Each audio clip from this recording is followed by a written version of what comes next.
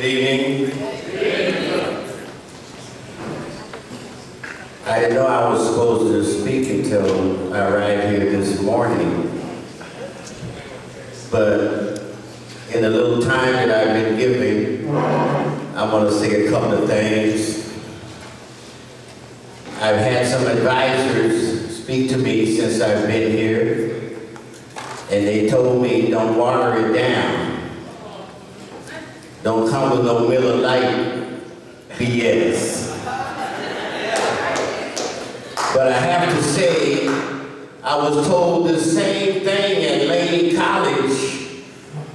The BSU brothers asked me to come and speak.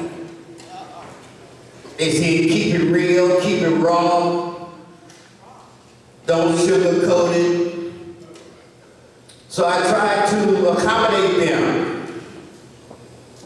And before I finished, the same brother snatched the mic out of my head. So I'm gonna try to be nice. They got a clock on me. If I go on too long, so I don't know how much I'm gonna get done.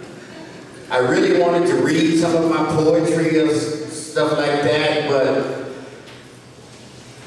I'm supposed to talk about success for African American community college students. So I've been trying to figure out how I should approach this. And the best way I think I can approach it is by giving you some historical examples of what I consider successful community college students. So I, I, I grew up in Fresno, for those who don't know. I graduated from Edison High School.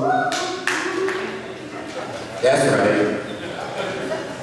And probably two of the greatest black American writers came from Fresno. Myself, of course, but also our sister Sherley Anne Williams.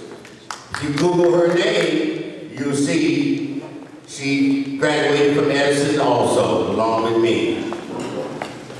But when I left here, after graduating in 1962, I went to Merritt College down in the flatland. And when I arrived at Merritt College, there were some students that I became friends with.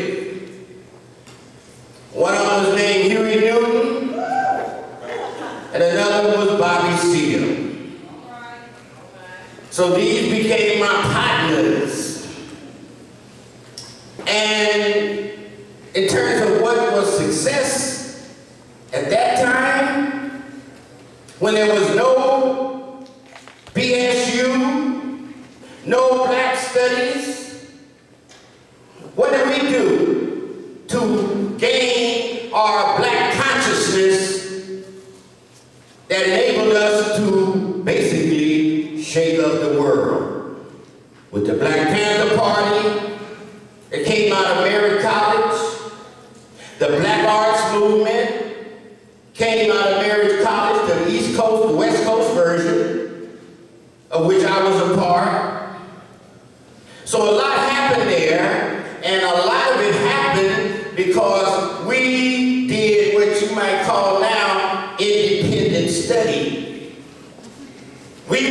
Get our black consciousness, and there was no black classes. So we studied on our own. We were self-motivated. We met in study groups to get our black consciousness together. We read books such as Black Bourgeoisie by E. Franklin Frazier. We read Wretched of the Earth by Frantz Fanon. We read uh, Neocolonialism, The Last We read about Patrice Lumumba. We read about Nelson Mandela. We read about Fidel Castro.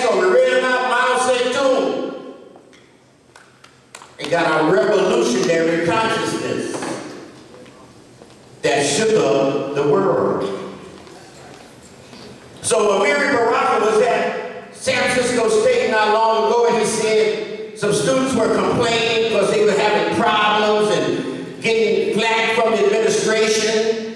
And Baraka said, is it, is it really difficult for you? Is it difficult for you? So sometimes we cry today when you don't have to cry. All you have to do is be organized. Get organized. So you have a beautiful statewide organization of community college students, and you need to use it for your advantage. Don't be crying about the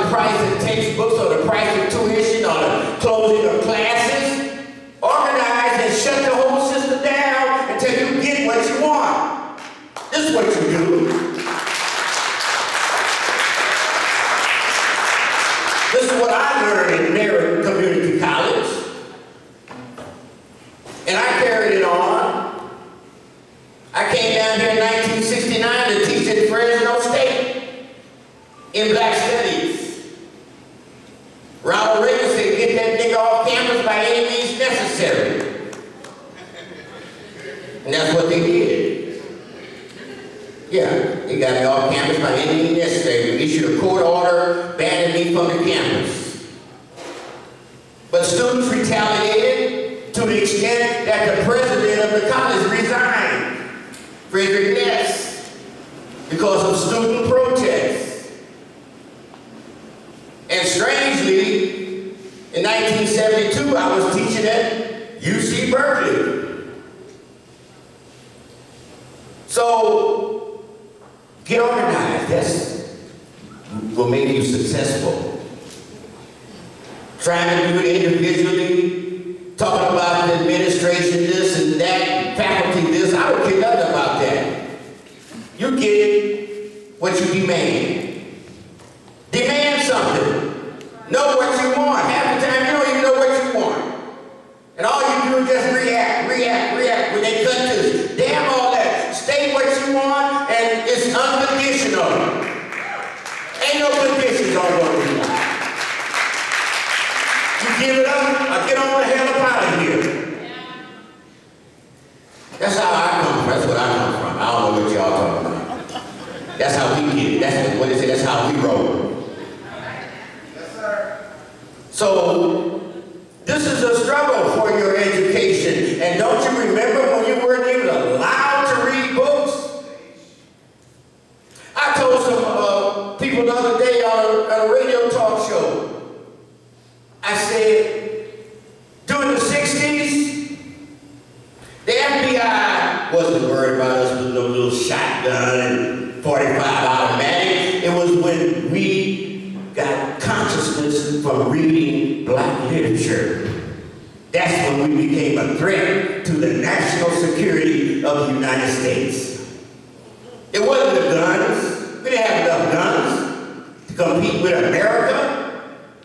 But we had the consciousness from reading and self-study and discipline to confront this whole system. And this is the reason why some of you are sitting here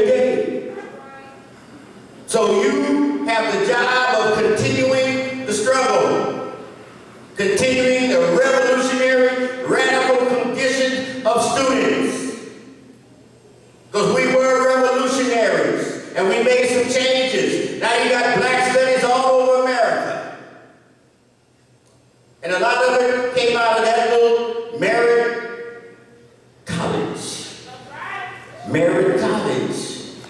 Like I said, not only the Black Panthers, but the Black Arts Movement came out of Merritt College. And the Afro-American Association. Oakland City College. Oakland City College, uh, Judy says, correct me. Even Kwanzaa with Dr. Ron Karenga, that came out of Oakland. He was studying and it was a part of the Afro-American Association that was centered around Merritt College. And then he, he was the LA representative of the Afro-American Association. So all that was happening at that little college that was on Grove Street. And of course, we transferred to San Francisco State. And when I transferred, we had the Negro Student Association. And there was a big battle to change the name from Negro to black. And, and so we fought over it. There's some people here that were there. And it became the BSU, Black Student Union. And then it went on, the BSU went on to fight for what? Black Studies. And they brought in Dr. Nathan Hare, who had just been kicked out of Howard University, a black sociologist, just as Howard had kicked out another great sociologist, E. Franklin Frazier, who wrote Black Bourgeoisie. So Nathan came here, attempted to establish the first black studies program in America. Of course, he was ultimately fired by President Hayakawa, and there, what, what happened next was the longest strike in American academic history by the students at San Francisco State fighting for black and third world studies. So we have that today. So you get what you want, you get what you submit to. Like Dr. Harris says, there can be no, no, no masters except by those who want to be slaves.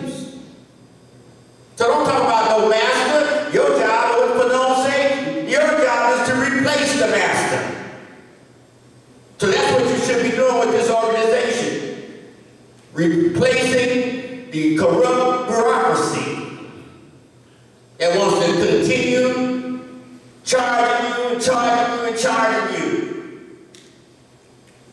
A student of my friend mine the other day said, how am I going to pay $600 for books? Where am I going to get $600 from?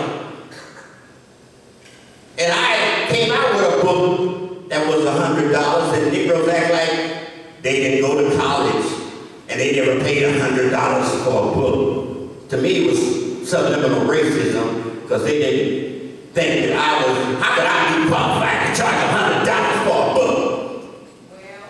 Well, well you paid for the white man's books that brainwashed you, even the scientific books, racist, white supremacy science, pseudoscience. You paid for that, ate them up.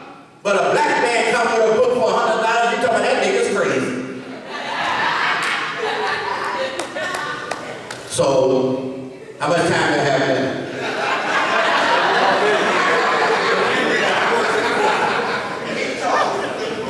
See, you get me started over here. You have to call the campus police. That's what they usually do. I've been escorted off of many campuses and escorted out of some countries. I'll just tell the brother right here, I was escorted out of Belize, thrown on a plane, slammed the door shut. And I have to just, I'm gonna just tell the story. They, uh, I was in a, in way out in the jungle, as I told him, and in a little hut, and a drunk man came by singing, "Boy, they come to get you in the morning. You've been down here teaching that black power. They coming to get you in the morning." and we, we, me and my wife said, "I wish that old Negro would get away from our door." But the next day I had to go into town on a boat, and I was technically under arrest because there was a, a, a, a undercover agent on the on the boat with a rifle. So anyway, I get arrested, and they take me to the Ministry of Home Affairs. And the Ministry of Home Affairs says, uh, your presence, he read my deportation order, your presence is not beneficial to the welfare of colony of British Honduras, to the British colony of Honduras. And therefore you will be deported at 4 p.m. on a plane for Miami. So until then, you uh, shall be placed under arrest. So they took me to the police station and they sat me down. They didn't put me in a cell or handcuff me or anything. They sat me down and in a minute or two, I was surrounded by black police. So I couldn't figure out what was getting ready to happen. open. All of a sudden, when they had me in the middle of the circle, they said, brother, teach us about black power. So black power will make you successful. Use your power. You don't use the power you have, you don't exercise the power you have, you don't know how much power you got. I'm successful, I write books. Some people say, the last poet say I write a book a month. I've written about 30 books. Out of Merritt College, that's where my writing career started. You can do the same thing. I tell everybody want to write a book, and everybody wants to write a book these days. I say write a page a day. One page a day. And I'm going to say no more about that. I just want to end with one point about a project that I'm doing called the Archive Project, where I'm organizing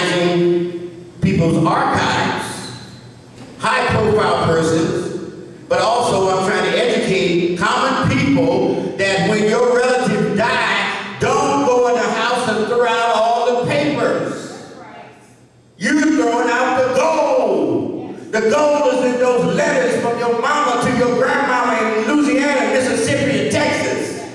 That's gold you throwing in the trash. And all you coming in there for is to steal